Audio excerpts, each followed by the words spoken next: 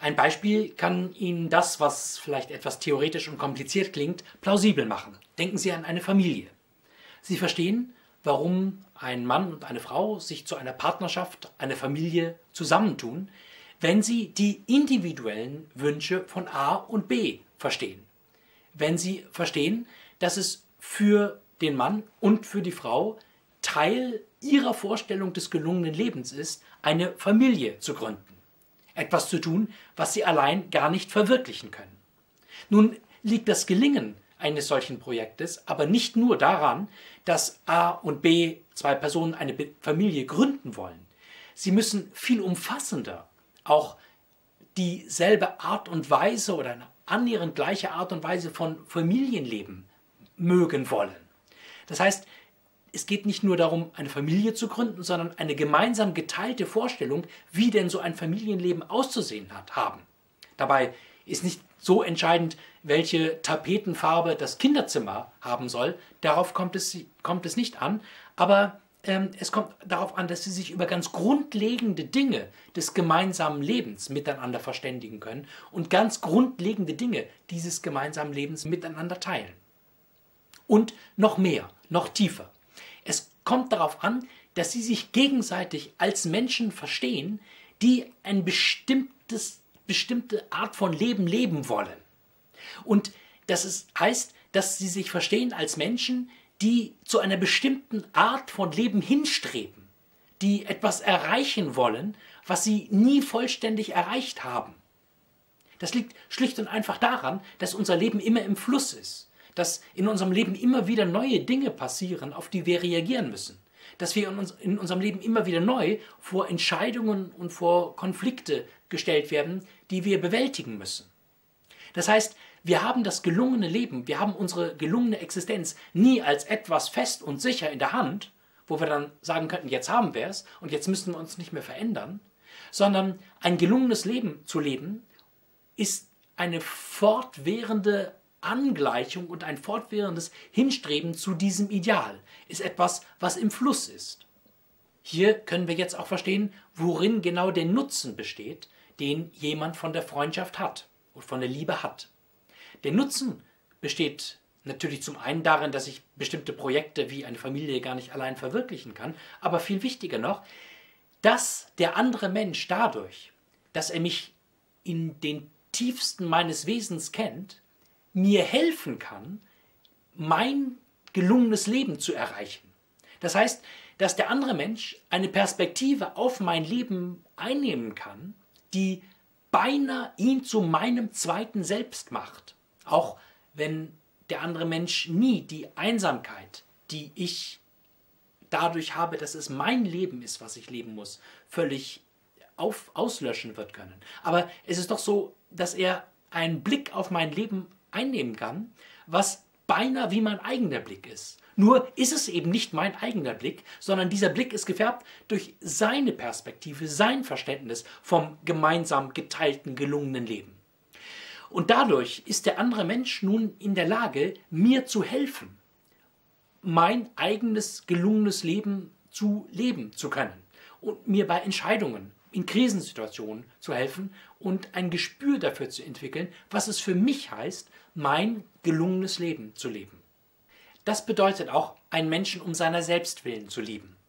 Ihn nicht deswegen zu lieben, weil er einen Nutzen für mich hat, obwohl er einen Nutzen für mich hat, sondern ihn zu lieben, weil ich möchte, dass er glücklich wird, dass er sein Ideal des gelungenen Lebens, was ein geteiltes Ideal des gelungenen Lebens ist, dass er sich dem möglichst annähern kann in seiner eigenen Existenz, in seinem eigenen Leben. Nun stellt sich hier natürlich ein Problem. Denn was heißt es genau, den anderen Menschen um seiner selbst willen zu lieben? Wir alle haben ja Eigenschaften, die nicht wirklich liebenswert sind. Ist es überhaupt möglich, dass uns ein anderer Mensch ganz liebt? Dass er uns liebt, so wie wir sind? Wenn es doch Eigenschaften gibt, die objektiv nicht liebenswert sind.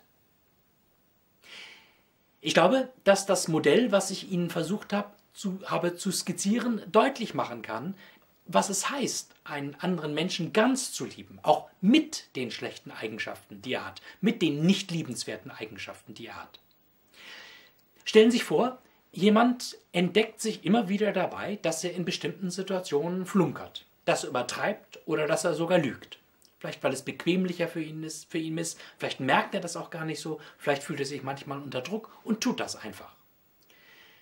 Zu dem Ideal seines gelungenen Lebens gehört das nicht.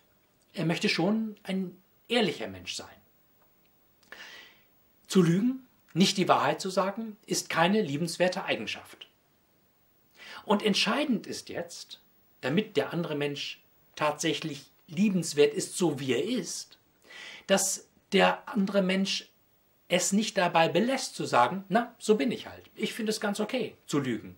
Ich finde es ganz okay, manchmal unehrlich zu sein. Was willst du? Sondern, dass der andere Mensch sagt, ja, ich wäre gerne die Art von Person, die Art von Mensch, die nicht lügt, sondern die tatsächlich ehrlich ist. Aber ich weiß auch nicht, mir gelingt das einfach nicht immer. Ich erwische mich immer wieder dabei, nicht die Wahrheit zu sagen.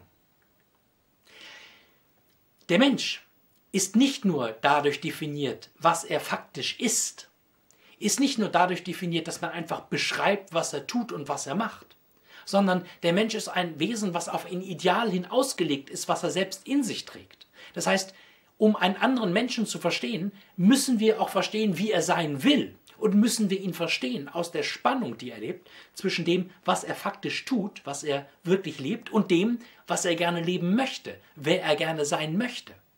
Und einen anderen Menschen um seiner selbst willen zu lieben, heißt ihn in dieser Spannung zu lieben.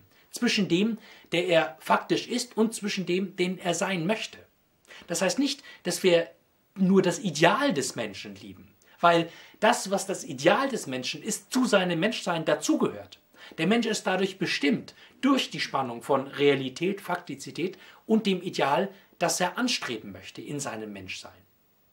Und wir können einen Menschen um seiner selbst willen lieben. Wir können einen Menschen lieben, so wie er ist, weil wir und insofern er auf dieses Ideal bezogen ist und sich selbst in dieser Spannung von Faktizität und Ideal versteht. Wir können ihn nicht mehr lieben und er ist nicht mehr liebenswert und kein Mensch kann um seiner Selbstwillen geliebt werden, wenn er daran fest, wenn er an der Faktizität festhält und sagt, gut, äh, so bin ich halt, ich will mich nicht ändern, es ist völlig okay, wenn ich die Art von Person bin, die lügt.